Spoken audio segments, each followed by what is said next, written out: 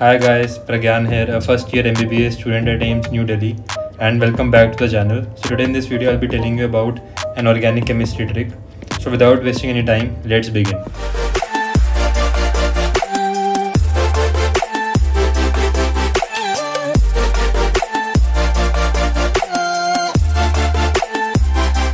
This trick is about syn and anti-addition on cis and trans compounds and I can guarantee you that this trick is the best, most efficient and the fastest trick to solve such kind of questions. So let's begin.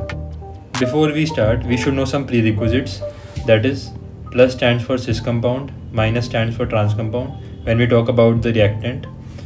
Plus stands for syn addition, minus stands for anti addition when we talk about the type of addition that the reactant is undergoing. Plus stands for meso compound and minus stands for racemic mixture when we talk about the product.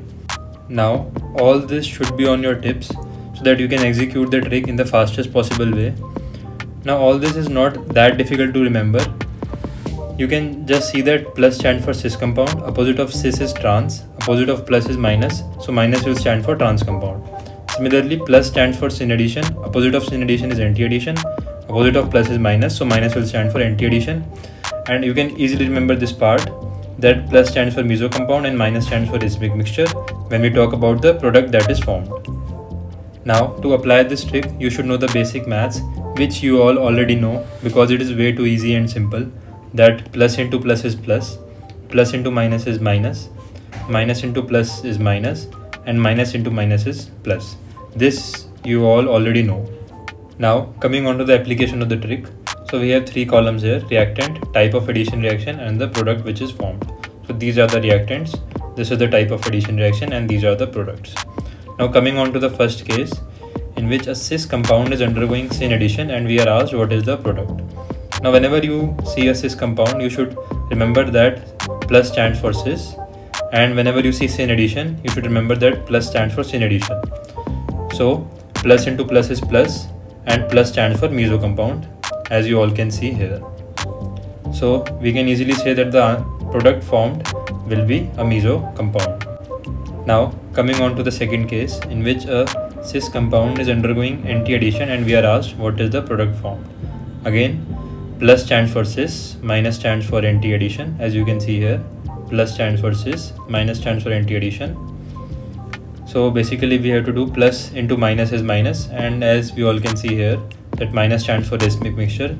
So very quickly and easily we can say that the product formed will be a racemic mixture. Coming on to the third case in which a trans compound undergoes syn addition. So again minus stands for trans compound, plus stands for syn addition as we all can see here minus stands for trans compound, plus stands for syn addition. So now minus into plus is minus and as we all know that minus stands for racemic mixture so the product formed will be a racemic mixture.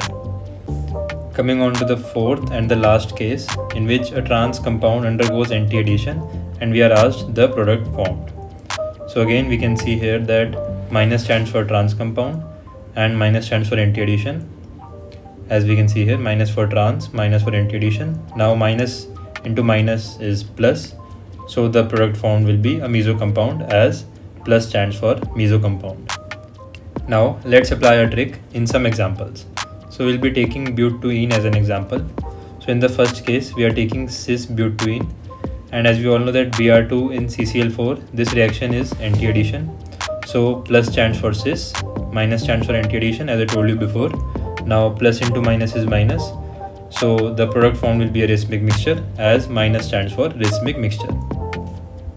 Coming on to the second case where we are dealing with trans butene so again trans butene undergoing anti-addition.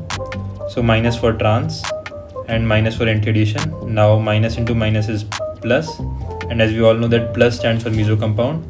So the answer to this question will be a meso compound. I believe that earlier you would be taking 2 to 3 minutes or even more to solve these kind of questions if you go by the conventional method of drawing the projection, the compound and then finding the product formed. But I can guarantee you that if you use this trick then you will be able to solve these kind of questions within 15 seconds or even less than 10 seconds if you practice this trick a few more times. That's it for today guys. I hope you liked this trick and I hope that you will use this trick in your mock test and you will certainly see the improvement in your speed. Thanks for watching and don't forget to like, share and subscribe. Signing off. Bye bye.